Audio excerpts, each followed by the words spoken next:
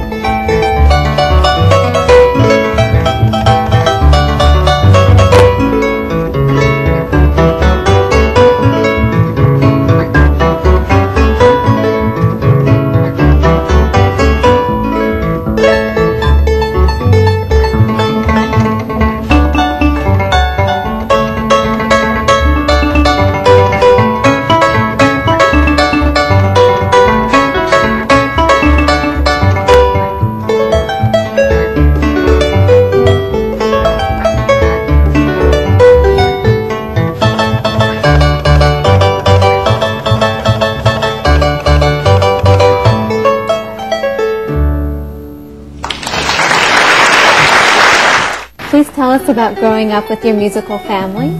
Well, it was a wonderful um, um, experience uh, because we are so close family and we start because of my father.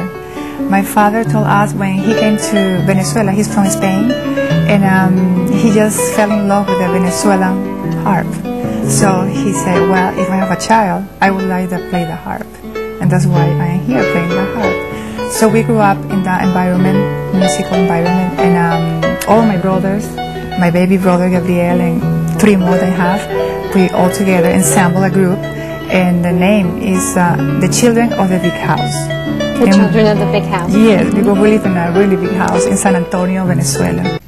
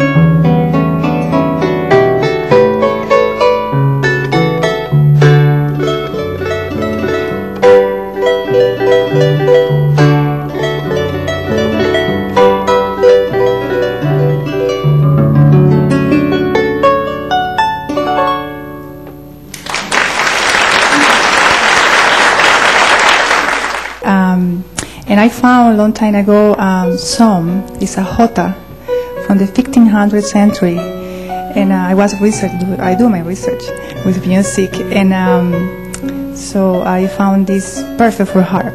It was playing for with uh, guitars. And I just tried to play the harp and sounds really nice.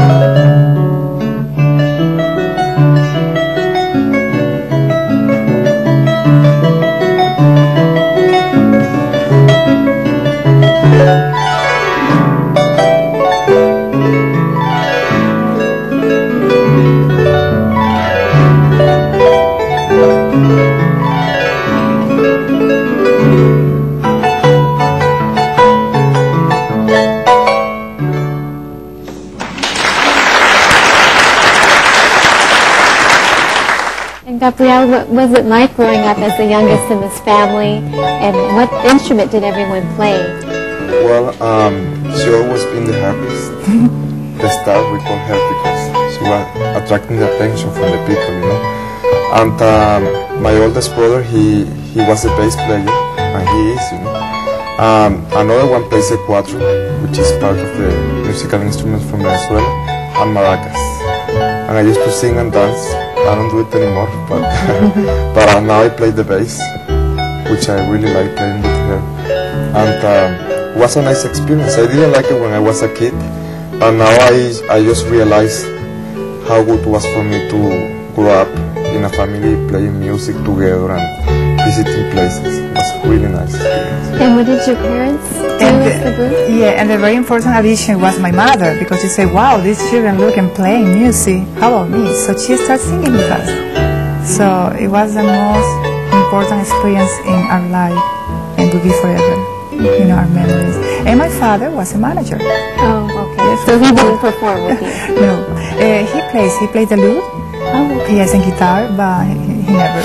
Oh, well, he, he did like the presentation. Um, still staying in Mexico, so now I would like to play La Feria de las Flores.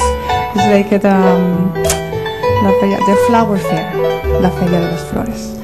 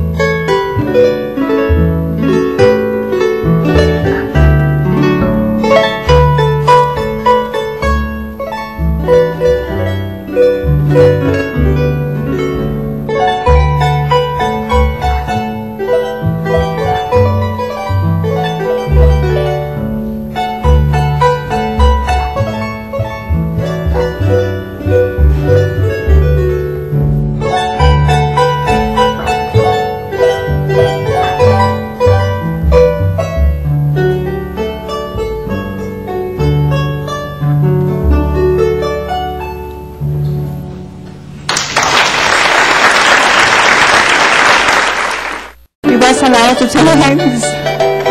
He was so upset when we came back because my mother gave it to him a Mickey Mouse. He said, "But- but I want to go. Because, you know, even though he was now two years old, and he wants to go, but uh, too, too small.